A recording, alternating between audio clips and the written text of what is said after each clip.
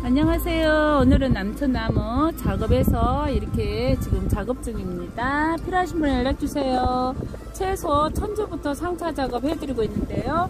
오늘 12월 20일인데도 이렇게 추위에 강한 나무들은 많이 나가고 있습니다. 여기는 전남 순천 오성농원입니다.